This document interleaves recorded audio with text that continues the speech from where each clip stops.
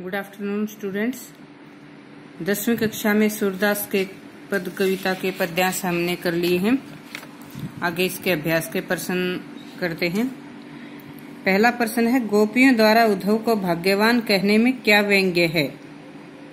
गोपियों ने उद्धव को भाग्यवान क्यों कहा? क्या व्यंग्य है?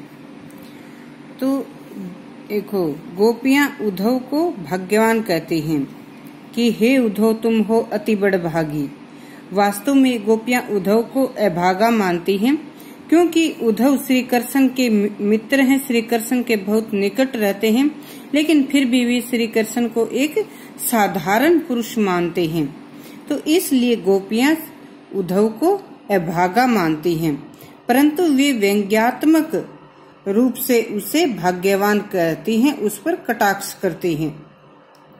तो इस प्रकार से क्या व्यंग्य निहित है? कि गोपियाँ उद्धव पर व्यंग्या करती हैं। वास्तव में वे उसे भागा मानती हैं।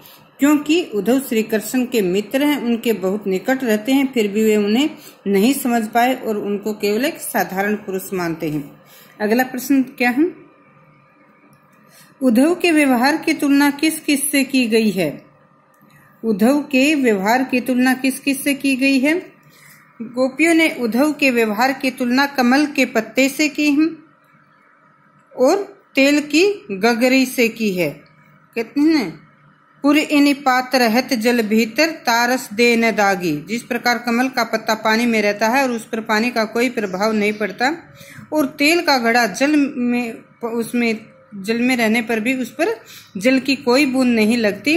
उसी प्रकार से श्री कृष्ण के इतने निकट रहने पर भी उद्धव पर उनका कोई प्रभाव नहीं पड़ा है।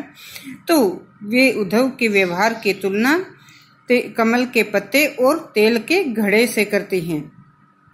गोपियों ने किन किन उदाहरणों के माध्यम से उद्धव को उल्हाने दिए? गोपियों ने कमल के पत्ते और तेल के घड़े के माध्यम से उद्धव को उल्हाने दिए। कि जिस प्रकार वही पहले जो दूसरा प्रश्न का उत्तर था, लगभग वही इसी प्रश्न का है, कि जिस प्रकार तेल का घड़ा, जो तेल का घड़ा चिकना होता है, पानी में रखने पर भी उस पर पानी की बूंद नहीं लगती है। और कमल, हम देखते हैं कमल कीचड़ में रहता है, फिर भी बहुत सुंदर खिला रहता है।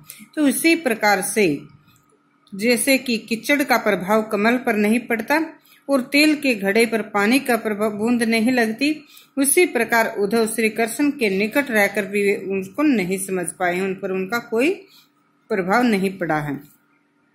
उद्धव द्वारा दिए गए योग के संदेश को गोपियों की विरागनी में घी का काम कैसे किया? तो गोपियों की विरह की पीड़ा श्री कृष्ण से जैसे दूर होने के कारण वे विरह की पीड़ा सहन कर रही थी और समय के आधार पर अपने दिन व्यतीत कर रही थी कि श्री कृष्ण के आने में समय बीतता जा रहा था और उनके आने का समय जो नज़दीक आता जा रहा था। तो इसी आस में वे अपने दिन व्यतीत कर रही थी कि उद्धव योग का संदेश लेकर आए और इस योग के संदेश से श्री कृष्ण के आने की उम्मीद समाप्त हो गई। तो इस प्रकार से गोपियों की विरह की पीड़ा में उद्धव के संदेश ने घी का कार्य कर, उस पीड़ा को और अधिक बढ़ा दिया। मर्यादा न रही के माध्यम से कौन सी मर्यादा न रहने की बात की जा रही है? मर्यादा न लही। गोपियाँ कहती ना कि अब धीर धरी क्या मर्यादा न लही? तो श्री कृष्ण जी मथुरा जाते समय गोपियों से एक वर्ष का समय लेकर गए थे, एक वर्ष में वापस आने का वादा करके गए थे। परंतु वहाँ राजसी कार्य के कारण, राजसी कामकाज में वे लगे और एक वर्ष का समय पूरा होने पर उद्धव को योग का संदेश देकर भेजा। तो इस प्रकार से श्री कृष्ण अपना वादा पूरा नहीं कर पाए। तो गोपियाँ इसी वादे को तोड़ने के और श्री कृष्ण के वादे की मर्यादा न रहने की बात कर रही हैं। कैसे मर्यादा न रहने की बात कर रही हैं कि श्री कृष्ण ने जो अपने एक वर्ष में वापस आने का वादा तोड़ा है, इसी वादे के मर्यादा का उल्लंघन करने की बात कर रही हैं। कृष्ण के प्रति अपने अनन्य प्रेम को गोपियों ने किस प्रकार अभिव्यक्त किया है? कृष्ण के प्रति अपना अनन्य प्रेम व्यक्त करते हुए गोपियाँ क्या कहती हैं कि हे उद्धव हम तो श्री कृष्ण के प्रेम में उसी प्रकार लगी हुई हैं जिस प्रकार से गुड़ पर चीटी लगी हुई हो। तो गोपियों ने श्री कृष्ण के प्रति अपने प्रेम भाव को निम्नलिखित ढंग से व्यक्त किया है। हम्म, नंबर एक कि जिस प्रकार गुड़ पर चीटी लगी रहती है उसी प्रकार से गोपियाँ भी श्री कृष्ण के प्रेम में लीन हैं। दूसरा क्या कहती हैं कि जिस प्रकार हारिल पक्षी पंजे में लकड़ी को कसकर पकड़े रहता है, उसी प्रकार से हमने भी नंद नंदन को अर्थात श्री कृष्ण को अपने हृदय में दृढ़ता से बसाया हुआ है। आगे वे क्या कहते हैं कि वे दिन रात सोते जागते हमेशा श्री कृष्ण श्री कृष्ण ही रटती रहती हैं और ये योग का संदेश कड़वी ककड़ी के समान कड़वा लग रहा है। तो इस प्रकार से गोपियों ने श्री कृष्ण के प्रति अपने अनन्य प्रेम भाव को व्यक्त किया है कि उनकी श्री कृष्ण के न आने पर जो उनको पीड़ा हुई है, वह अकथनीय है और असीम है। उसे का वर्णन नहीं किया जा सकता, कहा नहीं जा सकता और उस पीड़ा की कोई था भी नहीं है। तो ऐसे वो अपने दुख की अभिव्यक्ति करती हैं। गोपियों ने उद्धव के योग की शिक्षा कैसे लोगों को देने की बात कही है? गोपियों ने उद्धव से योग की शिक्षा ऐसे लोगों को देने की बात कही है जिनका मन चक्कर की तरह घूमता रहता है, एक जगह शिथिर नहीं रहता। गोपियाँ कहती हैं कि हमारा मन तो श्री कृष्ण में शिथिर हो चुका है, श्री कृष्ण में लग चुका है। आप ये संदेश उनको दें जिनका मन भटकता रहता है, एक जगह स्थिर नहीं रहता है। अगला क्वेश्चन। प्रस्तुत पदों के आधार पर गोपियों का योग साधना के प्रति दृष्टिकोण स्पष्ट करें। तो गोपियों का योग साधना के प्रति कैसा दृष्टिकोण है? गोपियाँ योग साधना को कड़वी ककड़ी के समान कड़वा मानती हैं। वे कहते ना कि ये योग का संदेश ऐसा लगता है, मानो कड़वी ककड़ी चखली हो। और दूसरा वे योग संदेश को एक बीमारी मानती हैं, एक रोग मानती हैं। हे, क्या कहते हैं ये उद्धव, आप एक ऐसी कौन सी बीमारी हमारे लिए ले आए, जो न कभी देखी गई है, न सुनी है और न ही भोगी गई है? तो इस प्रकार से गोपियाँ योग संदेश को कड़वी ककड़ी के समान कड़वा और एक बीमारी, एक रोग के समान मानती हैं। गोपियों के अनुसार राजा का धर्म क्या होता है? गोपियों के अनुसार राजा का धर्म होता है कि राजा प्रजा के साथ जो है नीति करे, न्याय करे और प्रजा को कभी सताए नहीं। गोपियों को कृष्ण में ऐसे कौन से परिवर्तन दिखाई देते हैं जिनके कारण अपना मन वापस पाना चाहते हैं? तो यहाँ गोपियाँ कहती हैं कि श्री कृष्ण जी तो बड़े राजनीतिक बन गए हैं। वे पहले ही बहुत चालाक होते थे और अब तो उन्होंने राजनीति के बड़े बड़े ग्रंथ पढ़ लिए हैं। इसीलिए बड़े राजनेताओं की तरह ही वे अपना वादे से मुकर गए हैं। एक वर्ष में वापस आने का वादा किया था और अब वे अपना वादा तोड़ रहे हैं तो वे बड़े राजनीतिक बन गए हैं। तो गोपियाँ उदास होकर कहती है कि अब हमें श्री कृष्ण से कोई उम्मीद नहीं है। हम तो अपना वह मन वापस पाना चाहते हैं जो वो मथुरा जाते इसमें चुरा ले गए थे। तो कौन से परिवर्तन दिखाई दिए? जो श्री कृष्ण अब बड़े राजनीतिक बन गए हैं। राजनीति के बड़े ग्रंथ पढ़ लिए हैं। इसीलिए अन्य राजनेताओं के समान अपने वादा तोड़ रहे हैं।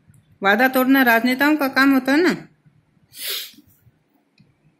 गोपियों ने अपने वाक्य चातुर्य के आधार पर ज्ञानी उद्धव को परास्त कर दिया। उनके वाक्य चातुर्य की विशेषताएँ बताएँ।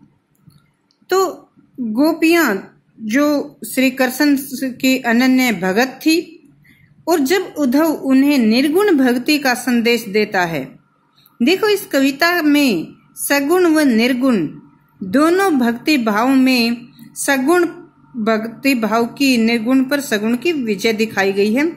सगुण भक्ति भाव क्या होता है? सगुण में मूर्ति पूजा जैसे होती है, किसी का साकार रूप की पूजा की जाती है। सगुण भक्ति, जैसे हम श्री कृष्ण को माने।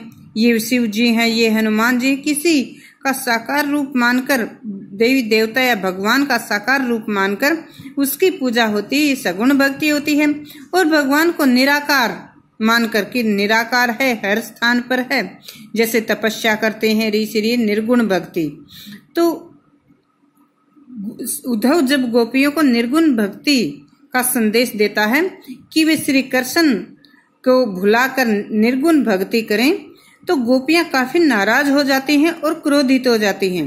परंतु उद्धव गोपियों के अतिथि भी हैं और श्री कृष्ण जी के मित्र भी हैं। इसलिए वे उनके सीधा ढंग से उनका अपमान नहीं कर सकती। तो गोपियाँ बड़े ही चातुर्यता पूर्वक बड़े ही चतुराई से उन पर व्यंग्य करती हैं। उनको भाग्यवान कहती हैं, ए उदो, तुम बड़े भाग्यशाली हो। कि श्री कृष्ण के पास रहकर भी आप उनके प्रेम से छूते रहे और अपने आप को भोली भाली बताती हैं। गोपियाँ उद्धव की तुलना भंवरे से करती हैं। भंवरे के माध्यम से ही उद्धव को उल्हाने देती हैं, क्योंकि उद्धव का रंग भी सांवला है और वे बाग में है, वहाँ फूलों पर भंवरे घूम रहे हैं। तो भंवरों के माध्यम से वे उन्हें उल्हाने देती हैं। तो इस प्रकार से गोपियाँ बड़े ही चातुर्यता पूर्वक कि उद्धव नाराज़ भी न हो और उनको उल्हाने भी दे देती हैं। संकलित पदों को ध्यान में रखते हुए सूरदास के भ्रमर गीत की विशेषताएँ बताएँ। तो यहाँ पर भ्रमर गीत की विशेषताओं में क्या आएँगे? उनकी भाषा संबंधी विशेषताएँ। भाषा सौंदर्य में या शिल्प सौंदर्य में जो हम लिखते हैं। तो सूरदास जी के भ्रमर गीत में जैसा पहले अभी मैंने बताया था, यहाँ पर निर्गुण भक्ति पर सगुण भक्ति की विजय दिखाई गई है। निर्गुण और सगुण भक्ति के बारे में अभी मैंने बताया था आपसे, क्या होती है। और भ्रमर गीत जो है, इसमें सूरदास जी ने ब्रिज भाषा का प्रयोग किया है, भाषा भावानुकूल है, तत्सम तद्भव शब्दों का प्रयोग किया है अनुप्रास रूपक उपमा आदि अलंकारों का प्रयोग किया है। माधुर्य गुण विद्यमान है। भक्ति भाव की सुंदर झलक मिलती है या भक्ति भाव भी विद्यमान है। दो हथ जो छंद का सुंदर प्रयोग किया गया है। श्रृंगार रस का इसमें प्रयोग हुआ है या वात्सल्य रस श्रृंगार से अधिक वात्सल्य रस का इसमें प्रयोग हुआ है। भक्ति भाव जो दिखाती हैं गोपियाँ। तो इस प्रकार से उनके भ्रमर गीत की ये विशेषताएँ हम यहाँ बताते हैं। जो पीछे मैंने लिखवाई भी थी, भाव सौंदर्य जो था, भाषा सौंदर्य में ये सब विशेषताएँ आती हैं। तो ये सभी प्रश्न आपको याद करने हैं। इतने ही हैं, बारह प्रश्न हैं। सभी प्रश्न आपको अच्छी तरह से याद करने हैं नोट करने हैं।